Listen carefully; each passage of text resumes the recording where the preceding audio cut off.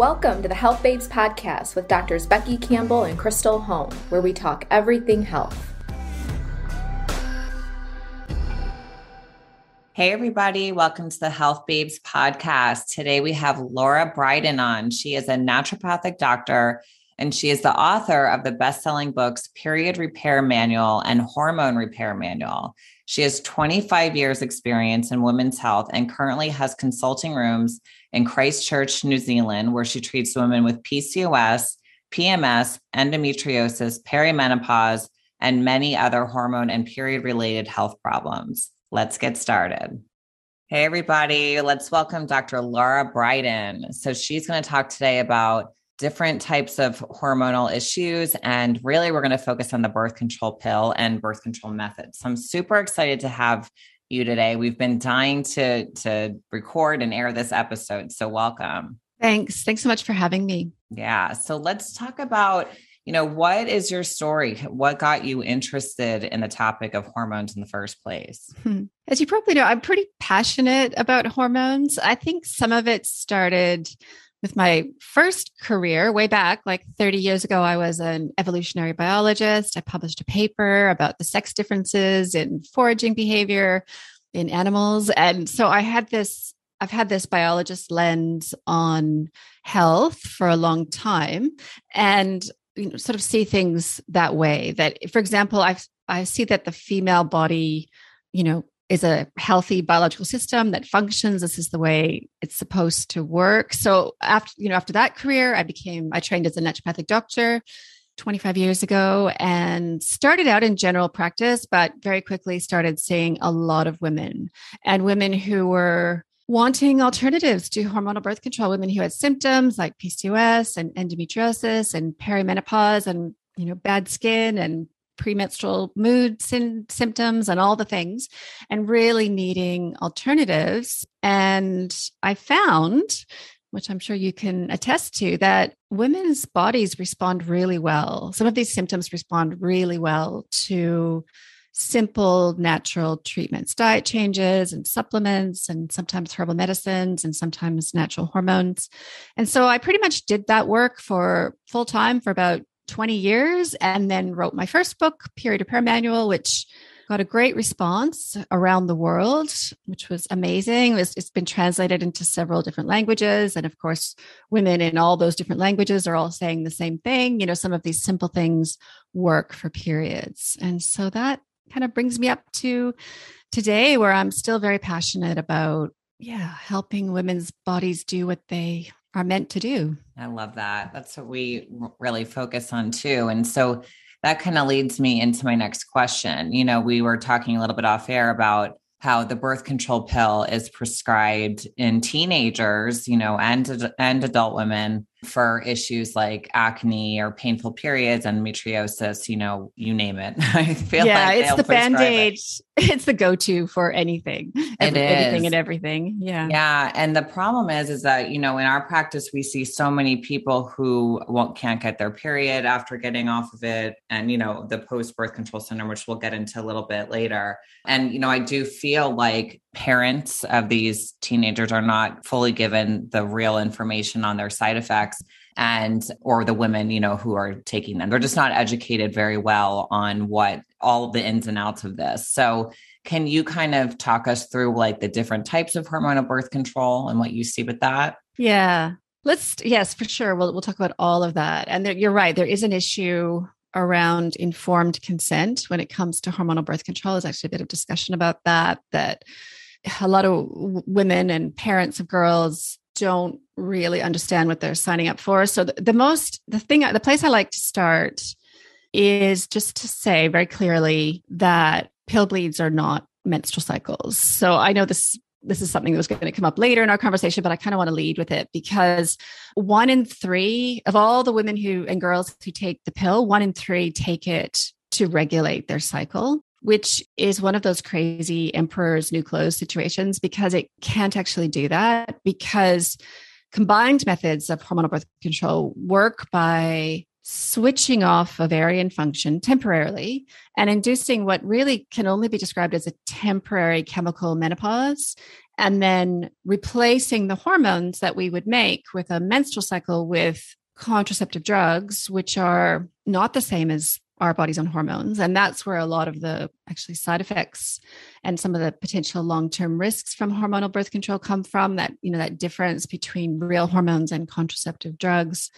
And then this sort of this whole narrative of, you know, have this regular drug withdrawal induced bleed and therefore you know that's a period and and that is just wrong on so many levels and one of the thing reasons this matters particularly for young women and teenagers is that the the a healthy approximately monthly menstrual cycle it doesn't have to be monthly in a teenager actually could be every 45 days as normal in a teenager but that approximate monthly ovulation is an indicator of health. This you're probably aware of it. There's a, there was a 2016 statement by the American College of Obstetricians and Gynecologists called the menstrual cycle as a vital sign. It was really radical. It was just, yeah. I, I talk about it in my book. I was just, I almost cried when I read that statement. They were basically saying you know in young women we need to they need to get their periods. We need to see that that's happening that their body's working.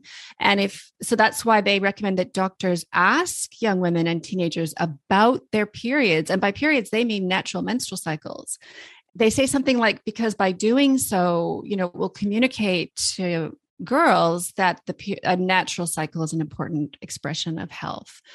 So that's kind of my starting place. You know, I feel like we're in this paradigm. Oh, it, it feels like it's always been this way, but it's really only been 60 or 70 years where it's the norm to take these drugs to induce a, a temporary chemical menopause in young women.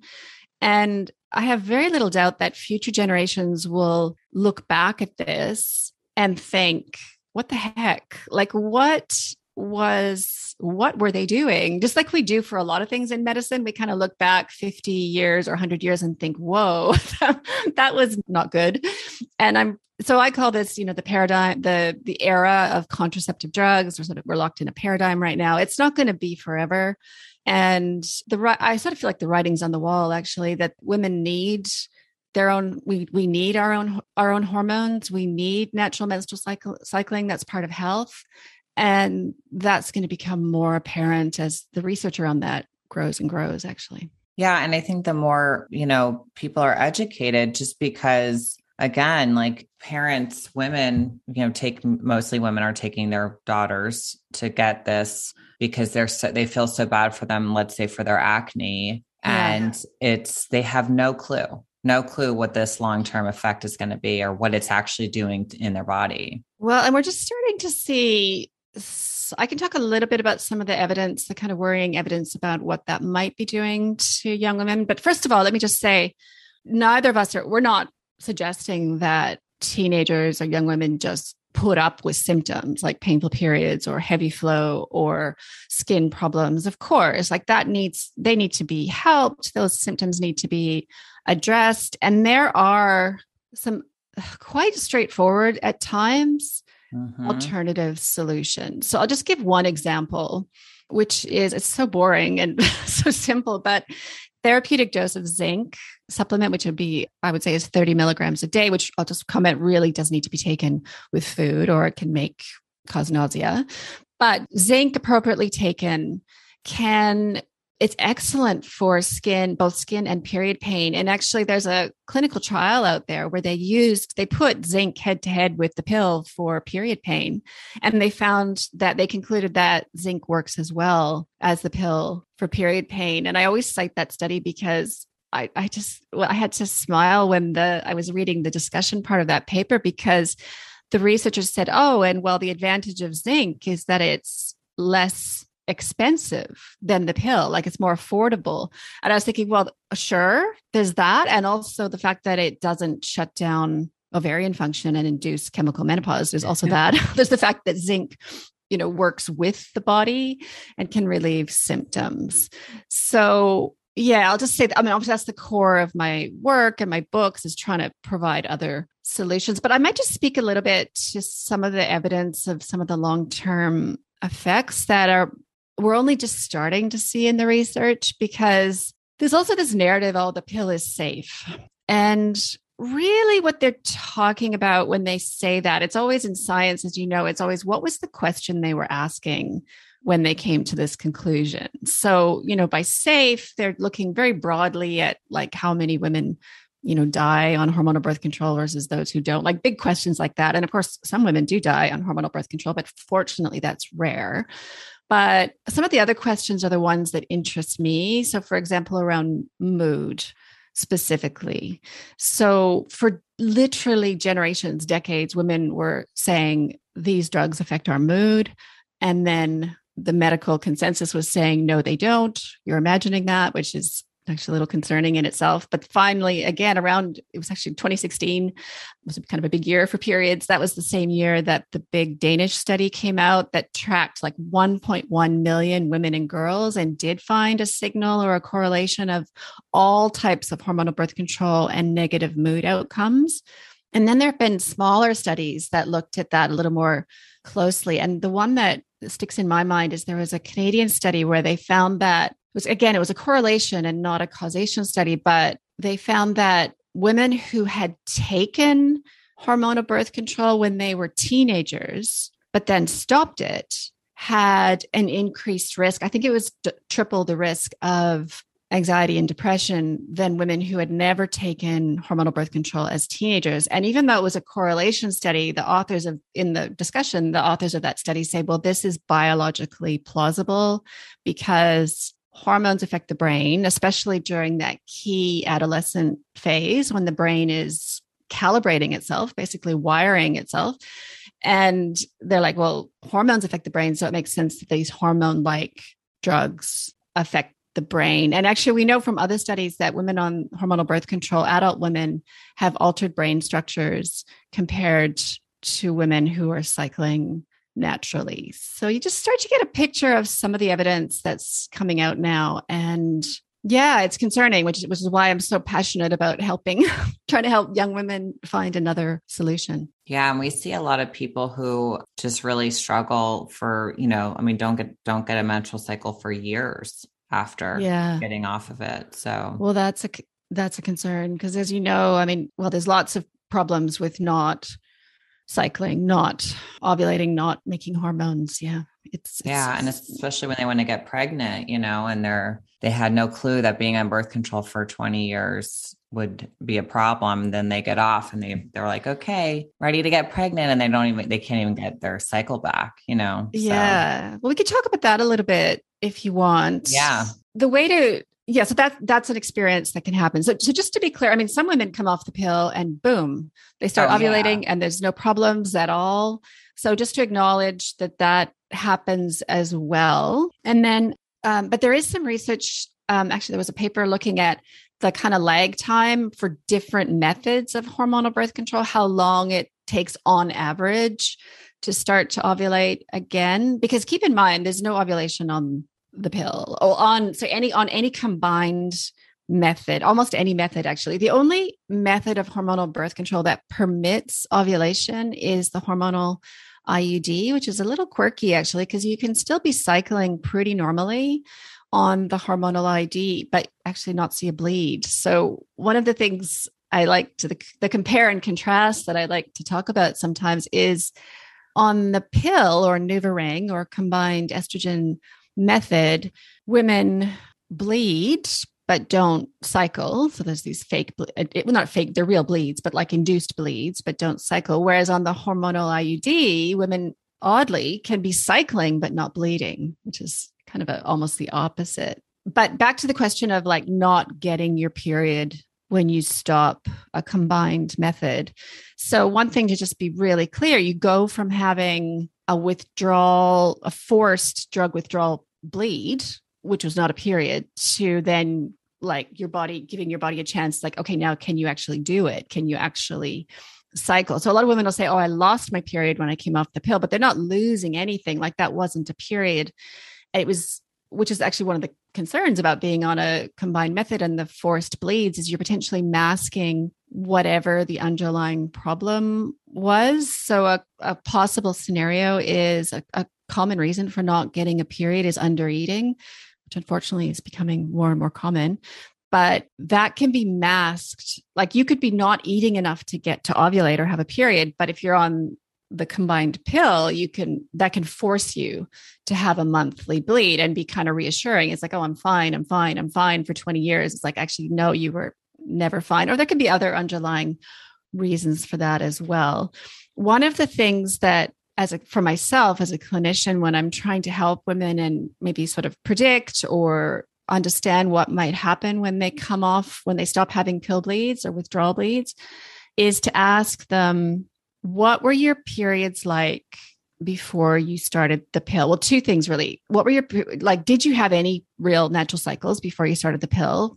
And how, young were you when you started it? Because another part of all of this is that it takes can take up to 12 years to mature the menstrual cycle. So if a girl gets her period at 13, I mean her cycle's not mature yet. She's having a few bleeds. She's probably not ovulating yet. Her her the communication between the brain and the ovaries is just getting going. It's going to take several years to mature and start to make a strong what's called a luteal phase and you'll start to make good levels of progesterone which is why incidentally actually girls at that age can have heavier periods for a while because they haven't they're not hormonally mature yet they're not making the progesterone they need to naturally lighten flow so it can take up until about 25 to be fully fertile if you will which is probably why 25 is peak fertility in in a natural sense but um and then but if you so I'll ask my patients, it's like, if they tell me, so like, what is it going to be like when I stop the pill? Am I going to get my period? It's like, well, the first thing I want to say is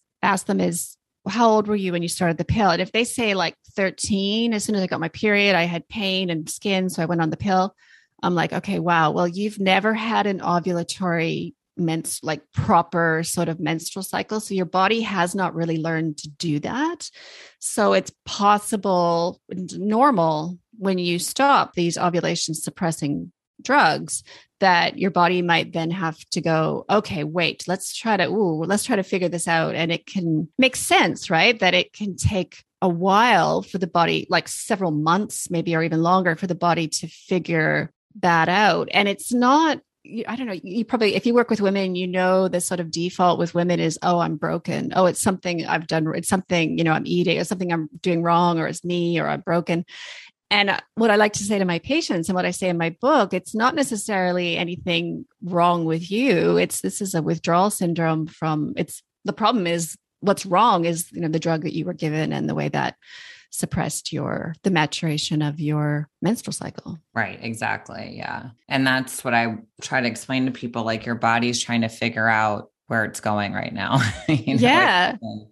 And yeah. and also just to say you, you don't want to just let that kind of guess at that and just think, oh, that must be what's happening and, and go too long. I mean, I think as a general guideline, what I usually say is, you know, give it a few months when you stop the pill. Like don't, you know, don't worry too soon. Give it a give it a few months. Understand that you could be fertile at any point in that time, even if you don't even before you see a bleed, right? Because ovulation happens first and then a bleed. But then after, if it's been three or four months and there's nothing, no sign of a period, then it, it is important to be assessed at that point by, you know, by the doctor or naturopathic doctor to have some blood tests to try to do the detective work that's required for understanding what is going on, what is the explanation, because it it's often I mean, it's not enough to just say, oh, the explanation is that you've just stopped the pill. I mean, there could be something with, you know, prolactin or PCOS or uh, thyroid or different, all the different things that can affect periods. So that's pretty important to do. And then, and I have sections in my book called, you know, how to speak with your doctor about this, how to get the testing, like how to say, why am I not ovulating? Like, because there's always a reason, right? The body wants to ovulate. That's my biologist self coming in. And so, of course, as part of that conversation, you you don't want to just end up with another script for the pill like you you want an explanation that you can then work with um, and try to fix and it's not enough to just say oh well either take the pill or take these fertility drugs and that's the whole solution i mean there's there's usually other solutions not that i'm you know i'm not saying i'm against fertility medication if that's what's required but there's usually often a way to get the body to ovulate on its yeah. own it wants to something else driving it yeah for sure So we were talking earlier, and I've seen you talk about this a lot with the IUD, the Mirena IUD, how it's kind of advertised as a progesterone. Right. Um, yeah. you know, that it's just progesterone. So, you know, a lot of people will even say, you know, what do you think about the Mirena? It's just progesterone. And I've even had back, you know, when I was way before I did any of this, I had the Mirena and the doctor explained it to me as well, it's just progesterone and it's just localized to the area of where it's inserted. Yeah. So you talk about progesterone and progestins, the difference. Yeah. So yes. that? This is one of the most important parts of the conversation. And a lot of my work is about using the right words for things. So, you know, it's not like there are times when taking a progestin is okay, you know, is is certainly maybe the best option, but it's not progesterone. Yeah, there's no progesterone in any type of hormonal birth control. And I guess the thing to say is that what's what makes this a little I can understand why doctors and journalists and even researchers sometimes like researchers less often but are getting confused about this. Actually, I had a doctor chime into my Instagram a couple weeks ago talking, you know, in the comments, talking to another doctor, and I was talking about the difference between progestin and progesterone. And she was saying, Yeah, I'm a doctor and I only kind of learned this two years ago. so they don't, wow, yeah. they, a lot of them do genuinely, when they say progesterone, they think that's the right word, but it's not. So, one thing to say is that estrogen is a generic term, which can refer to our main estrogen in our body, which is called estradiol. That's the precise term for the estrogen we make in our cycles. And then there's a synthetic estrogen in most types, you know, many types of hormonal birth control called ethinyl estradiol, which is not the same as estradiol. But the term estrogen can accurately refer to any type of estrogen, whereas progesterone is not a generic term. So progesterone refers to very precisely one molecule, like one type of molecule, a human hormone that we make after ovulation and during in huge amounts during pregnancy. It's called progesterone.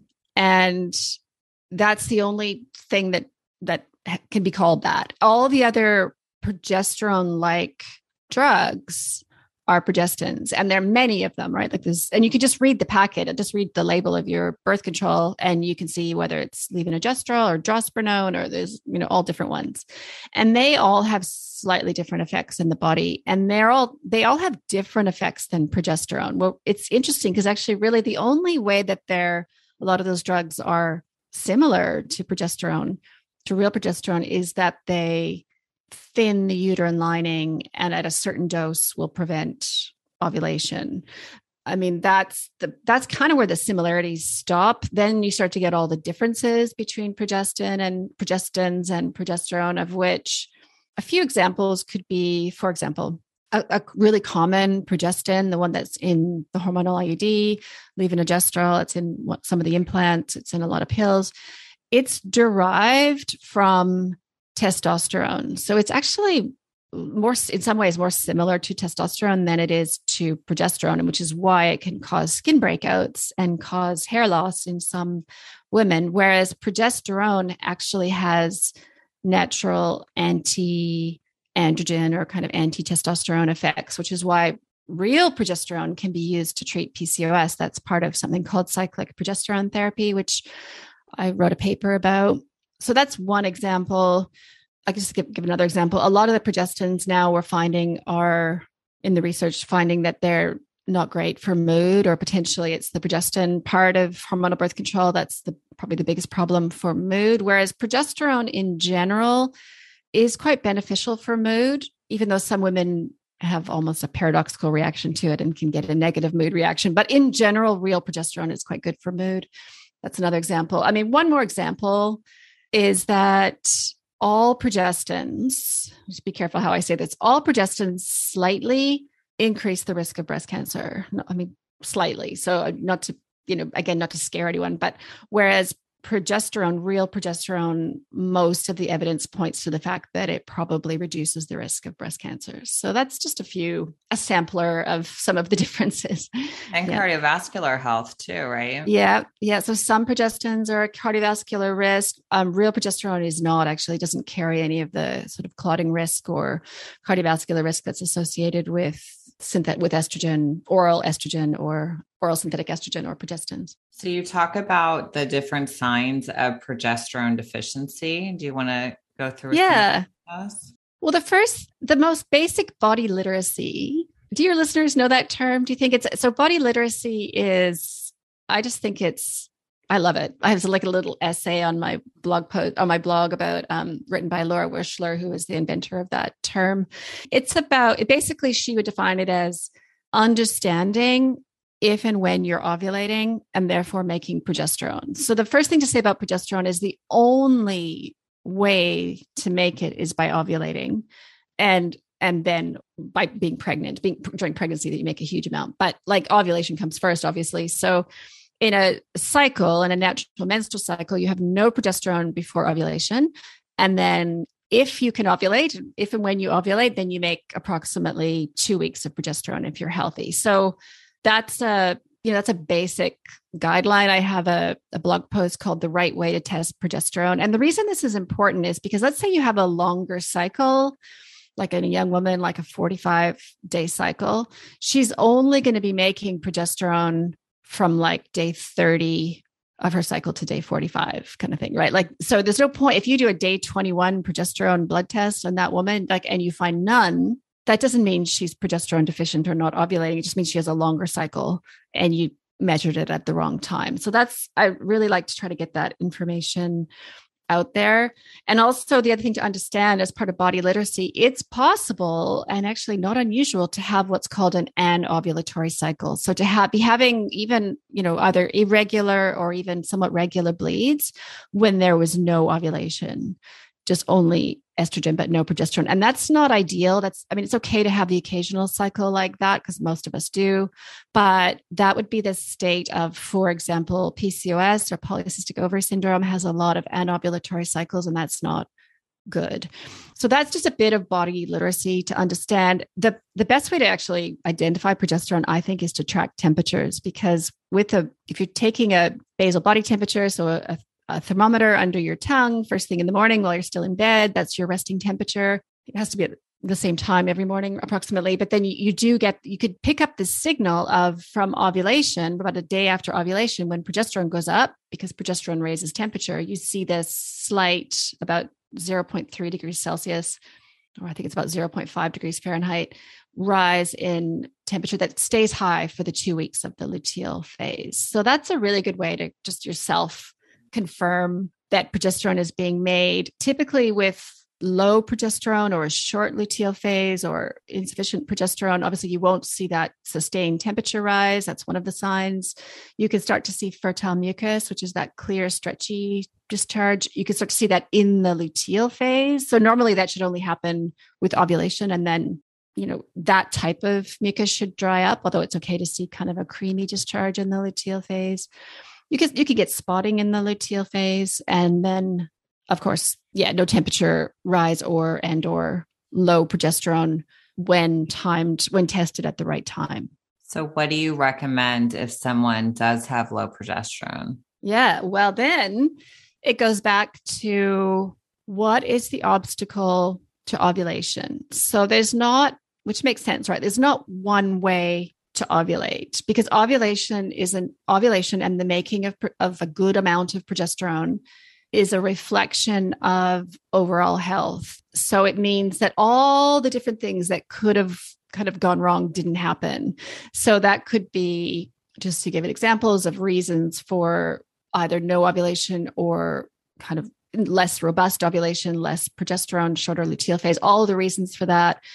There's, I mean, there's many, many that we couldn't all list today. But like, for example, common ones would be high androgens or the high kind of male hormone, or that's the state of polycystic ovary syndrome or PCOS. Undereating can do that. Underactive thyroid can do that. Having borderline high levels of something called prolactin can do that. Stress can can impair ovulation to some extent, either suppress ovulation or create a less robust luteal phase. Any nutritional deficiency, which is like basically you have to be fully nourished in every way to be able to get there. Gluten sensitivity can be an explanation, which is not to say that, just to be really clear, most women do not have gluten sensitivity. But for those, I would say maybe one in 20 women who have a quite pronounced, even non celiac gluten sensitivity, that can be a reason. I think one of the, it's one of the first patient stories in Period Repair Manual forgetting what her name was. I think it's Christine in in that story. Who she? This is in my book, Period Repair Manual. She had but always been having like these three month cycles and often anovulatory and her doctor had said, "Oh, that's just the way you are." But she also, in her case, had some signs of gluten sensitivity, like psoriasis and I think migraines. I'm forgetting the exact details of her case. And then I'm like, wow, okay, well, that all that's pointing to probably the fact that you need to try some time strictly off gluten. She wasn't celiac, but still gluten sensitive. And so in her case, she came off and then came off gluten and then like six months later was having regular cycles and robust luteal phases. So just to be clear, I'm giving that as an example of, you know, fix your underlying health and that'll fix your period. That doesn't mean that every person who's having short luteal phases or low progesterone needs to come off gluten, right? It's the opposite of that. It's like you need right. to try to figure out what is the thing. And I know that that can re- that requires some detective work. Some of that detective work can be done on your own, but some re- requires the help hopefully of a good clinician who can ask some of those questions of what is going on, why are you, you know, what are the other clues from your health that might tell us why you're not ovulating and making a good level of progesterone. Yeah, I love that because I think people are so quick to put people on hormone replacement therapy without looking into any of the factors of why their yeah. hormones are low. Um, and people always ask me, well, do you believe in hormone replacement therapy? And I'm like, not without looking in other areas first. Um, I think there's a time and a place for it. And then there's uh, just, you know, there's all those clinics, the anti-aging clinics where they just give everybody hormone replacement therapy, you know, really without any diet, you know, any background on, you know, checking what's going on with the thyroid or the adrenal glands or, you know, like you said, gluten or whatever, you know, all, all the things that we know that can lead to this. And that's the thing that I'm not for. So with that kind of segue, I wanted to know what is your opinion on hormone replacement therapy? okay. Yeah. Okay. Good question. So, what we're talking about right now is the use of the modern word, I guess, would be body identical hormone therapy, which would be using progesterone, real progesterone, which I'll just be clear, like in the States. So this, we're not, again, we're not talking about hormonal birth control. In the, in the US, the brand the common brand that you can get by prescription is called Prometrium. In other countries, it's called Utrogestan. It has different names. I have a list of brand names on my blog, or you can get it compounded. That's what you know what is sometimes called natural progesterone. Although I often encourage patients in my readers, I say don't use the word, don't necessarily use the word natural progesterone with your doctor if you're trying to get this from a normal doctor because they respond a lot better to just saying prometrium. So we're talking about either, you know, progesterone on its own and or, you know, with estradiol. That's our natural estrogen, and often in the form of a patch. Okay, so you know when is it appropriate to take those hormones? Well, there's actually several different situations when I think it can be helpful to take them. One of them I referred to just briefly earlier, which is actually taking what's called cyclic progesterone therapy for PCOS at times. Like if it's a properly diagnosed PCOS, I would say not as a standalone treatment, but if you've also done diet and the nutritional supplement and inositol and some of the mm-hmm. other things, mm-hmm. and if you if it's a really you know kind of tough case and you need some help getting the androgens down, cyclic progesterone therapy can be helpful. And so that's a case of using so-called natural hormone therapy for that. That's one situation. Another situation where is actually under eating so that would be either hypothalamic amenorrhea or relative energy deficiency in sport, depending on it's the same thing. That just means not eating enough to get your period. And of course, the main solution for that is to eat more, like way, way, way more. I think women right. very, very much underestimate how much cal- how many calories they need to get their period. So the main evidence-based treatment for that condition is to eat more but also at the same time if there if that's been if that situation had been going on for some years and there's concerns about bone health then it is an evidence based approach to give body identical estradiol and progesterone, such as prometrium, as an interim kind of bridging, just to put that in place, give the body, the bones some support, give the body some support while the refueling or the the refeeding is happening. So that's another example. Another example is using real progesterone to lighten flow, which I talk a lot about in my second book, Hormone Repair Manual. This is particularly in women in their 40s. So above after 40, yeah, some of this it, it, becomes harder to ovulate basically where that's the second puberty or perimenopause. It's normal for just to make less progesterone at that point to be you know to find it harder to make progesterone. That's part of the process of second puberty. So during that time some women can really benefit from taking progesterone to lighten flow and also help prevent migraines and help with sleep. And that approach so that might be, for example, choosing to use something like prometrium rather than the hormonal IUD or other progestin drug that's offered for the purpose of lightening flow. That's another example. And I have in my in hormone repair manual, I have like several how to speak with your doctor sections about how to sort of orient towards that and orientate towards that and get, you know, get that prescription. And then of course, then then there's menopause and the decision to take natural body identical hormone therapy, which is the conventional hormone therapy these days, which is so awesome, so good. It's not like 25 years ago when I started out and everyone was on these, I'll just say horrid drugs that were, again, kind of hormone like, but not real hormones back then.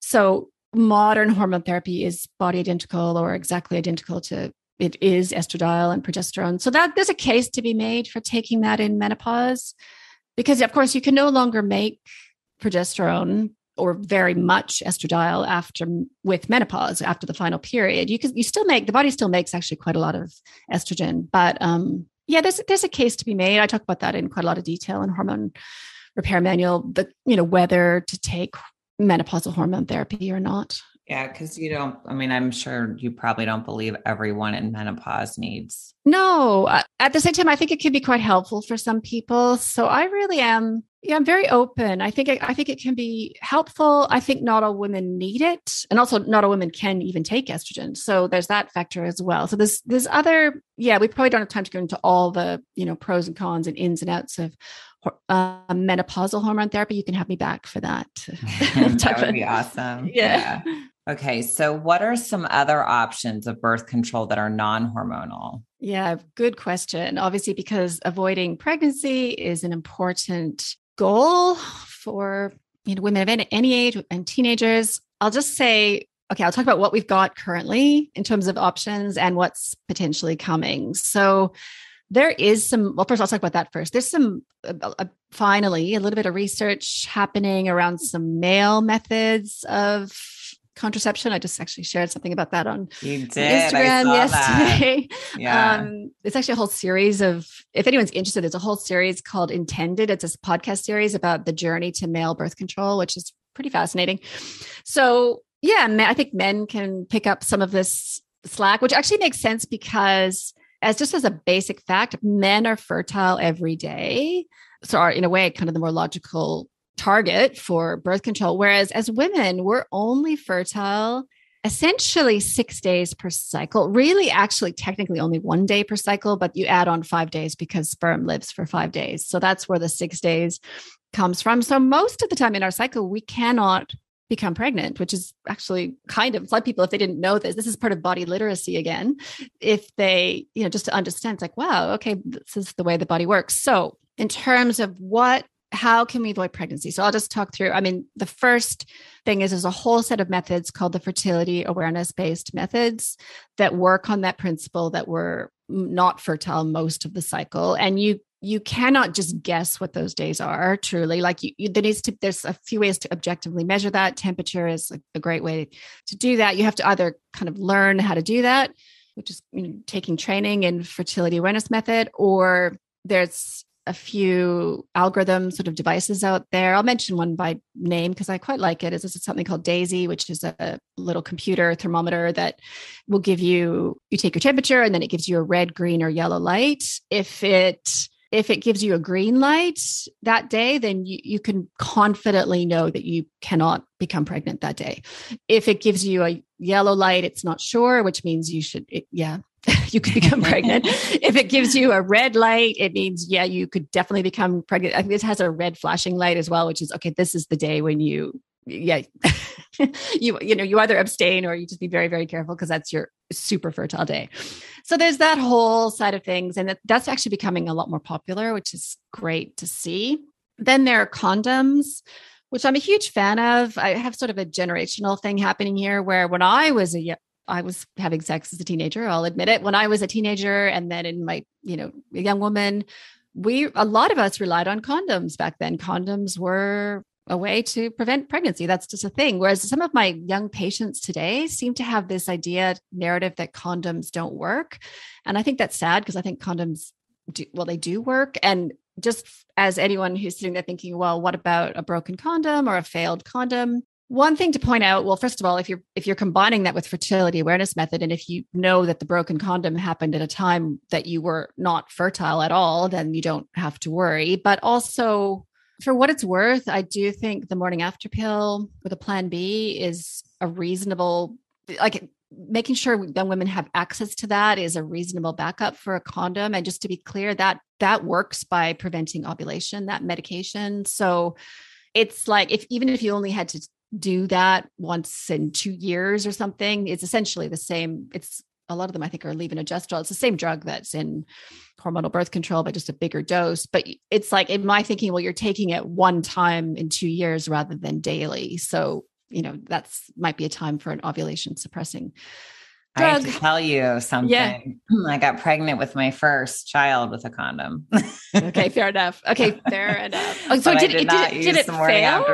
It broke. Oh, right. So it, it broke. broke. Mm-hmm. okay, well, if there's a broken condom during a fertile window, yeah, there has to. That's when the morning yeah. after pill would come in for sure. I've been pregnant three. All of my kids were from a form of birth control. I literally am the most oh. fertile person on the planet. Yeah, some women, it's true. Some women are a lot more fertile than others. There's yeah. always that as well. And to be fair, any method can fail technically. Yeah, it was even the, the pill. Even the, the second one was the pill, and the yeah. third was with the um, vasectomy. Oh my goodness. Oh yeah. no, you are super fertile. Okay. oh, okay. Well, all right. So fair enough. So that's that's a reality. I'll just talk through a couple of the other non-hormonal methods. So there is also the copper IUD or the non-hormonal IUD, which I'm not a, you know, I wouldn't say I'm a huge fan of it, but to, for what it's worth, it does not interfere with ovulation, does not shut down ovulation. And some women like it. It's um just to be clear, like it's a it's an in-office insertion procedure, like it's not surgery. Yeah. Although sometimes it's done under general, but a lot of times a lot of doctors will just do it under a local anesthetic. Yeah, when I had that and it just they just did it. Yeah, they just in the office, the doctor's just like, yeah. here you go. yeah. yeah. So some women, some women really like it. And it has downsides. I have a blog post called The Pros and Cons of the Copper IUD. So people can kind of they can look at that and read through it. So that I mean, for what it's worth, it it still feels a little kind of old school and a bit barbaric, actually, that method. But it is one of the few non-hormonal methods we have. And I know right. a couple of my naturopathic doctor friends who that's the method they choose. So that's out there. Then um, where are we at? I mean, there's a couple of uh, cervical cap and diaphragms, kind of more modern versions of those. Those are barrier methods, mm-hmm. female barrier methods. They're not great in terms of effect, efficacy, but um, they're out there. And then there's, I guess, technically, I would put the hormonal IUD just almost on this category in that, as I explained earlier in the podcast, you can still cycle and kind of ovulate on the hormonal IUDs. So it's, although it is hormonal, it's a little different than the other hormonal methods that work by shutting down hormones. So, yeah. And you have a great blog. I mean, she has, you guys have to check her blog out. I'm going to ask you to give us um, some places to find you in a minute, but she has such great articles that really educate you on all these, these different things that go, you know, a lot more than we were able to into today. But so with that said, where, you know, where can people find you? Tell us both of your books, your website. I know you have a great Instagram page. Yep, for sure. So thanks. Uh, so I'm easy to find. Everything is Lara Briden. So larabriden.com. All my social media is at Lara Briden. I have a a little podcast and YouTube channel now, which is bite sized things, I would call it. So it's like me giving little 12 minute explanations about various topics. So you can dip into some of the content that way as well. What's the name of that? I mean, I listen um, to Lara, it. Yeah, the Lara Briden podcast or Lara Briden's podcast. So easy to find. Yes. And of course, my um, of course, my book that I have mentioned a few times, but I'll say again is period repair manual that you know combines all of that information and puts that all in one place. Well, that's so great. Okay. Well, thank you so much. So I'm sure everyone's gonna um if you guys go on to her Instagram and you go into her uh, I think you use Linktree, right? Um the clickable yeah, links. Link. Yeah, yeah, there's all that a, a lot of really great stuff in there. So that's that's probably one of the easiest ways to find her. And she has a great Instagram page. I look at it all the time. So And thank you so much yeah. for coming on today. We've this has been a great episode and I really appreciate you, you know, taking the time to explain everything so well. Thanks so much for having me, Becky. It was great chatting. Yeah, and thank you everyone for listening. Have a great day.